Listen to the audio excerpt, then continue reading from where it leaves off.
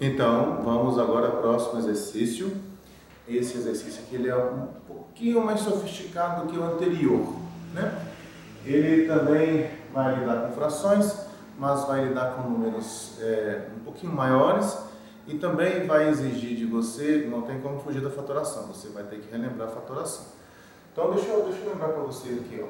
Geralmente a fatoração mais comum que a gente usa aqui é a fatoração por fator comum. Como é que isso funciona?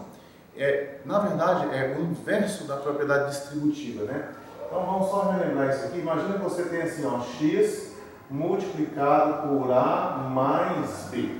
Quando você pega esse x e multiplica por a mais b, esse x multiplicado por a, esse x multiplicado por b, vai ficar assim, ó, ax mais bx.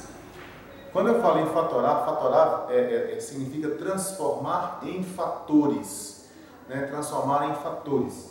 Então, o que eu vou fazer, na verdade, é pegar uma expressão que é uma soma e vou escrever ela como uma multiplicação. Isso tem, é, é importante por vários motivos. Né? Você consegue fazer simplificações, você consegue é, é, é, transformar o seu problema em outros problemas.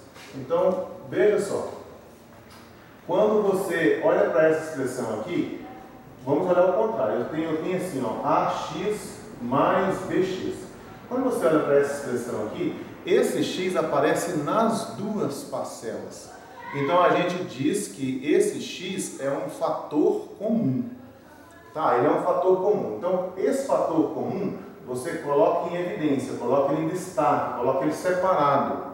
Ele é quem vai ficar multiplicando quem está aqui dentro. E como é que você encontra quem está aqui dentro? Quem vai ficar aqui dentro? É você encontra essa expressão aqui.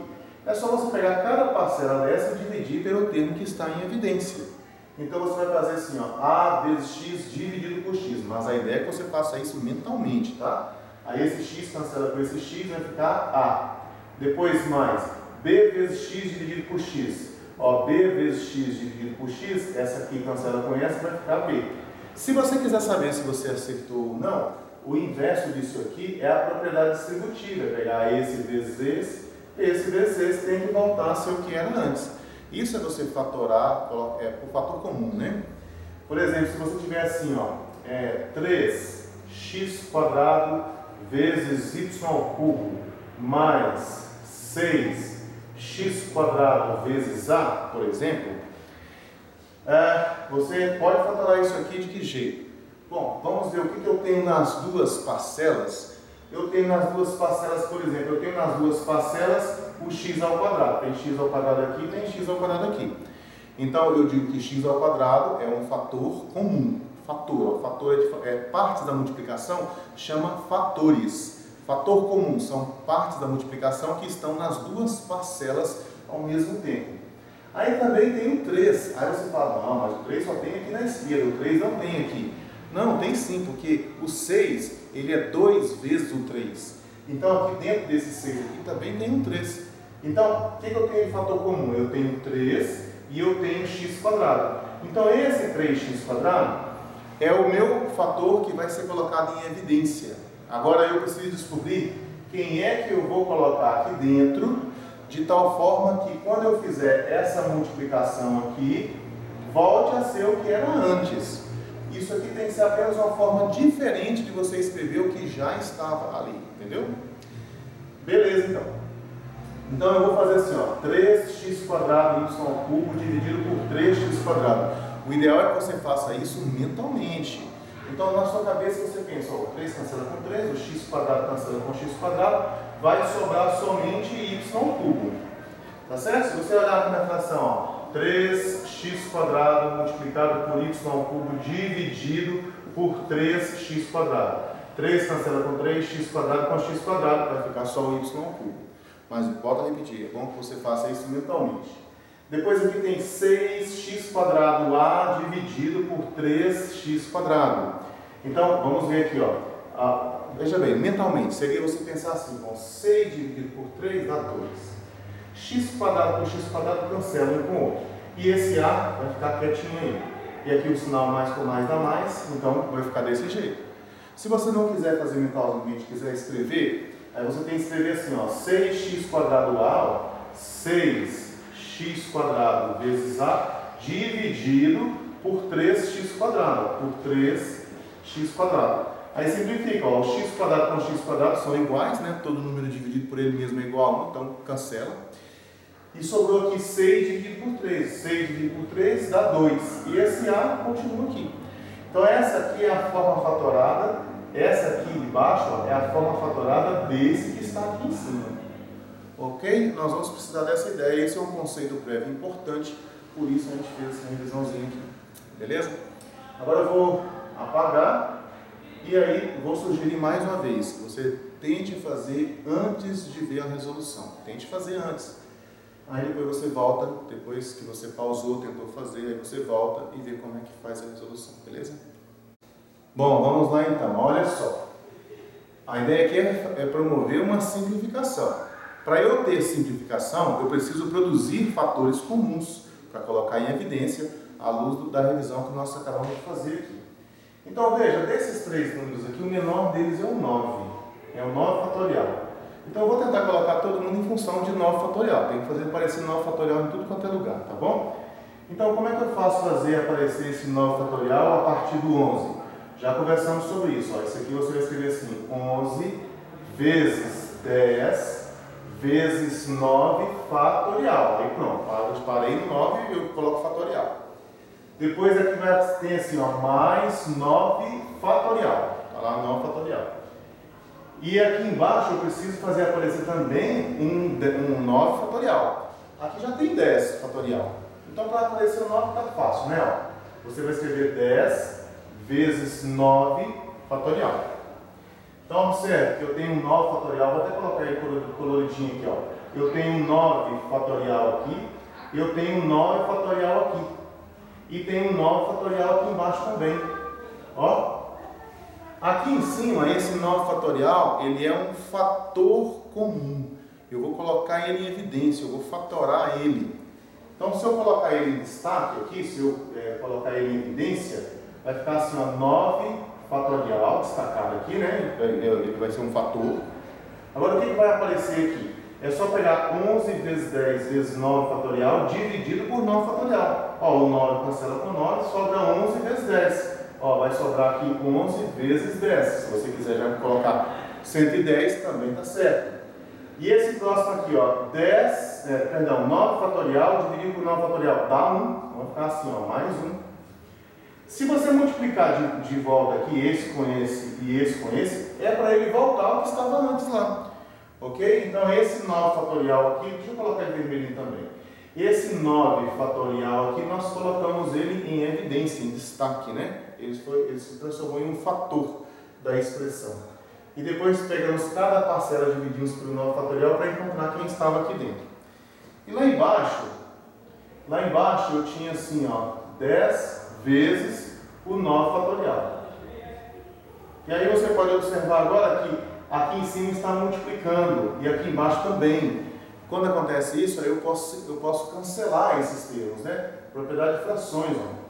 Então vai sobrar aqui é, 11 vezes 10 dá 110. Então vai ficar assim, ó, 110 mais 1 dividido por 10, né? Então 110 mais 1 dá 111 dividido por 10. Se você quiser simplificar, dá 1,1. 11,1, perdão, 11,1. E pronto, está resolvido. Ok? Vamos para o próximo? Do mesmo jeito, você não quer dar uma pausadinha aí e tentar ver como é que, se você dá conta de resolver, eu te dou a dica aqui, ó.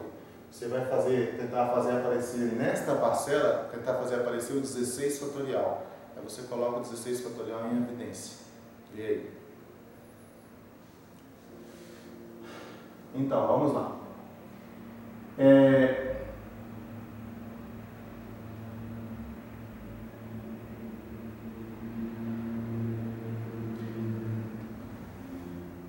Aqui no caso, olha só, se você.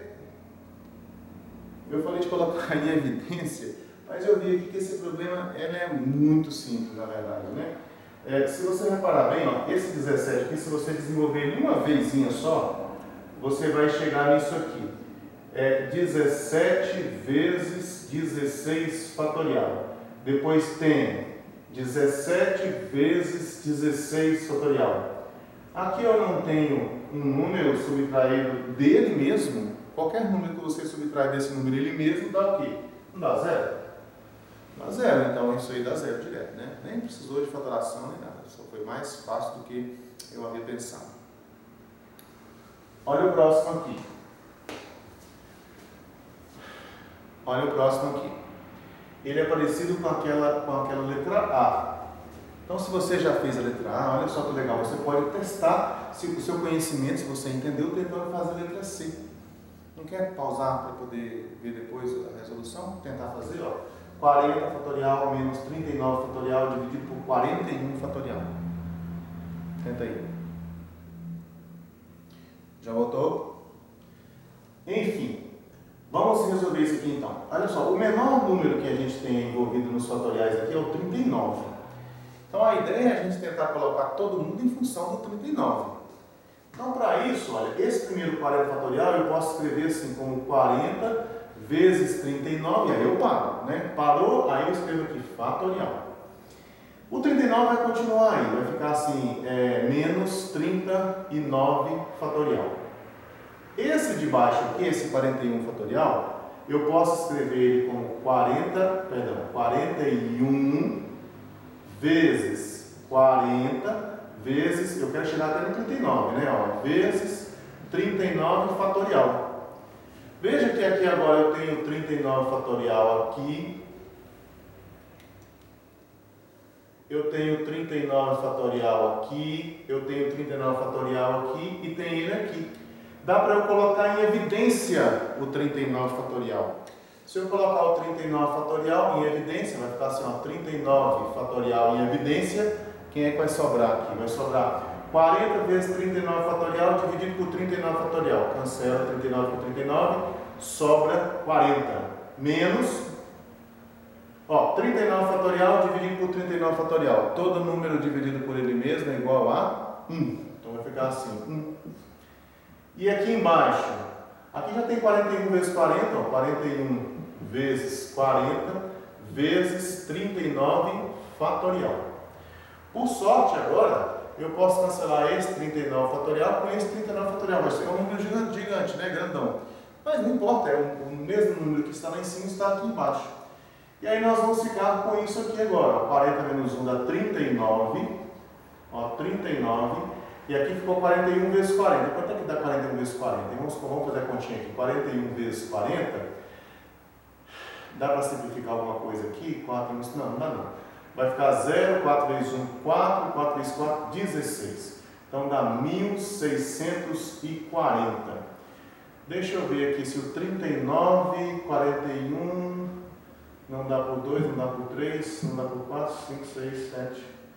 É, acho que é isso mesmo, não dá para simplificar não. Beleza? A próxima. Mais uma vez, ó, essa aqui é um pouco mais desafiadora, né? Mas não é assim, nada de outro mundo. É, tenta fazer, pausa o vídeo, tenta resolver isso aqui, ó. 85 fatorial, tudo isso ao quadrado dividido por 86 fatorial vezes 83 fatorial. Veja, a ideia não é você sair multiplicando esses números todos não, porque vai, vai dar um número tão grande que provavelmente nenhuma calculadora vai mostrar ele no visor ali com 12 dígitos. Nós temos que ser capazes de simplificar isso aqui sem precisar de tudo isso. Beleza? Tenta aí. Já voltou? Vamos tentar aqui então, vamos ver aqui então. Esse 85 fatorial ao quadrado, eu posso escrever ele assim, ó, como 85 fatorial multiplicado por 85 fatorial. Tá? E aqui embaixo ó, eu tenho 86 fatorial vezes 83 fatorial. Vamos trabalhar aqui a simplificação. Se eu vou olhar esse 85 com esse 86. Geralmente, como já conversamos, né, a gente desenvolve esse esse termo maior até ele chegar no menor. Para do 86 fatorial até eu chegar no 85 fatorial, eu só tenho que dar um passo só. Então, eu vou escrever assim, ó. Lá em cima vai continuar a mesma coisa com relação a isso aqui, né? Vai continuar 85 fatorial, continua a mesma coisa lá em cima. E esse 86 aqui, vai ficar assim 86 vezes 85 fatorial. Parei em 85? Fatorial nele.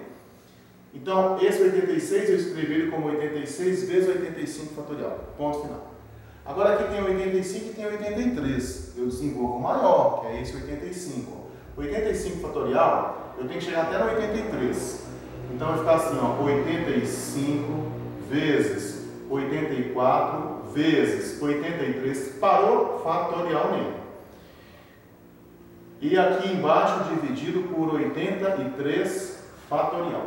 Beleza? Vamos ver o que dá para simplificar agora. Dá para simplificar esse aqui, 83, com 83. Dá para simplificar esse 85 aqui com esse 85. Aí sobrou assim, 85 vezes 84 dividido por 86. Vamos ver como é que nós podemos simplificar isso aqui, né?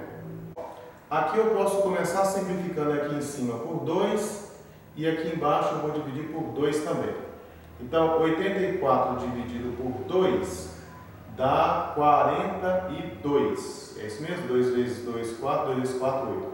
86 dividido por 2 dá 43. 2 vezes 3, 6, 2 vezes 4, 8.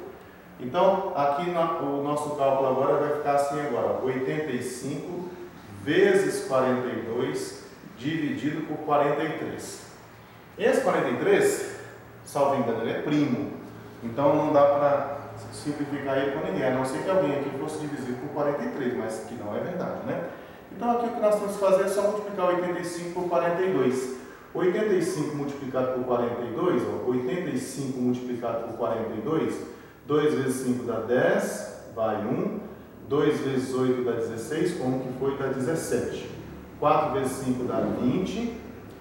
20, aí é, vai 2, né? 4 vezes 8, 32, 33. 4 vezes 5, 20, vai 2. 4 vezes 8, 32, não, aqui é 34. 4 vezes 8, 32, com 2, 34. Deixa eu ver de novo aqui, 2 vezes 5, 10 vai 1, 2 vezes 8, 16 com 17. 4 vezes 5, 20 vai 2, 4 vezes 8, 32, 34. É. Aqui ficou 0, aqui ficou 7, 4 com mais 1 dá 5 e aqui ficou 3. Então, no final das contas, ficou assim: 3.570 dividido por 43. Pronto. Simples, né?